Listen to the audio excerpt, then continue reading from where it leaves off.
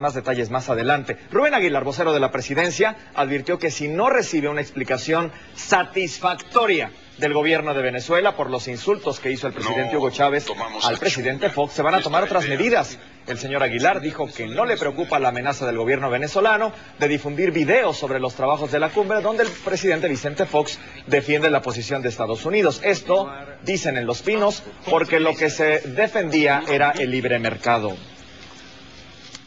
Esperamos una eh, contundente, sólida explicación de la Cancillería eh, venezolana por qué usar este tipo de lenguaje. Eh, nos parecería excelente que se den a conocer cualquier tipo de videos porque va a quedar con mucha claridad evidenciado cuál fue la posición que el señor presidente mantuvo en la reunión.